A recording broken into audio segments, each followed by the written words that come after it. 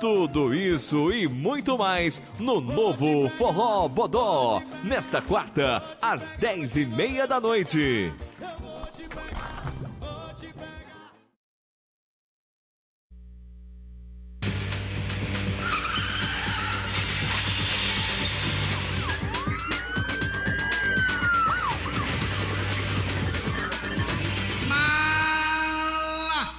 Os Malas e a Lei, com Elia Guiar. Pense em uma confusão grande, minha gente.